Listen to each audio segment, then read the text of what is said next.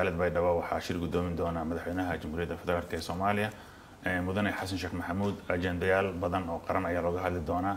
Waxaa ugu muhiimsan arrimaha amniga oo dagaalka khawaarijta lagula jiro iyo dowlad goboleedyada doorka ay ku leeyihiin dowladda dhexe wada shaqaynaya waxaa ka mid noqon doona arrimaha maaliyadda sidii loo midayn lahaa maareynta maaliyadda dawliga ah ee dowladda dhexe iyo dowlad goboleedyada.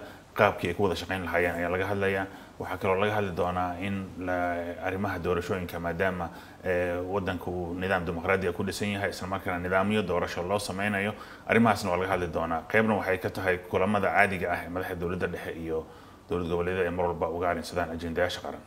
Waa tahay maxay tahay muhiimadda shirkan ay isugu yimaadaan mar walba madaxda dowladda federaalka iyo madaxda dowlad goboleedyada sidaad og tahay soomaaliya waxa ay ka soo kabanaysaa xasilooni daro siyaasadeed iyo mid amni oo muddo dheer soo socotay. Marka dowlad dhiska soomaaliya ayaa waxay ku salaysan tahay mar walba wada tashiyo la yeesho.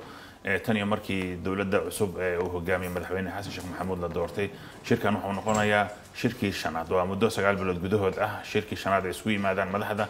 Waxaa mar walba muhiim u yahay kulamadan oo kale inay dhacaan in madaxdu ay iska wareysaan xaaladda dalka uu marayo. Haddii ay jiraan arrimo u baahan wax laga qabto in ay wada tashiyo ka yeeshaan. Taas ayaa keenaysa marka in mar walba ay madaxda dowladda dhexe iyo kuwa dowlad goboleedyada ay isugu yimaadaan shirar ay uga arrinsanayaan arrimaha waddanka taagan. Si go'aamo wada jira loo wada gaaro. Inagoo wada xusuusan in dhibaatooyinkii waddanka soo maray xagga kala shakiga iyo xasilooni darada siyaasadeed iyo midda amniba ay inta badan yihiin dhibaatooyin hareeya waddankan u baahan talo wada jiran laga wada qaato. Marka taas ayaa keenaysa in mar walba dowladda dhexe ay mudnaanta siiso sidii ay wadahadal ama wadatashi la yeelan lahayd dowlad goboleedyada dalka ka jira.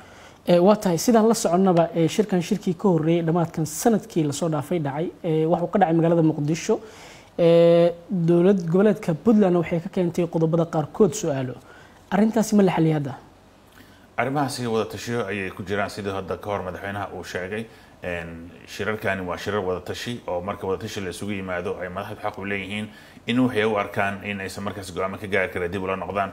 Marka xaaladaha qaabkaas ayaa loo xalinayaa mana ahan keliya arrin markaasi soo noqnoqoto amaba arrimo dhibaatooyin badan keena keeni kara. Maaha waa arrimo wada tashiyo. Inta badan u badan wada tashiyaas markay soo dhammaadaanna meeshaas ayaa markaasi go'aan wada jir laga gaaraya. Marka arrintaasi taas ayaan sidaas ayaan ku sharxi lahaa waa tahay ugu dambeyn dabcan shacabka soomaalida indhahood waxay ku sii jeedaan magaalada baydhabo oo shirka madasha uu ka dhacayo.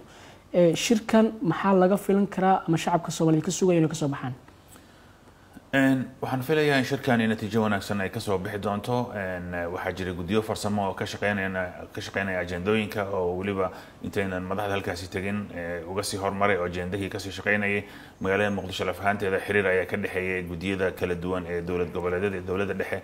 Marka ugu dambeyntii waxaan filayaa in tegitaanka madaxda ay markaasi keliya tegitaanka madaxda laf ahaanteeda ay muujinayso in ay jiraan qodobo markaasi diyaarsan oo guddiyadaas farsamo ay diyaariyeen oo madaxda looga doonaya markaasi inay ansixiyaan. Marka natiijo wanaagsan ayaan ugu bishaareynayna inay ka soo bixi doonaan shirkaasi shacabka soomaaliyeed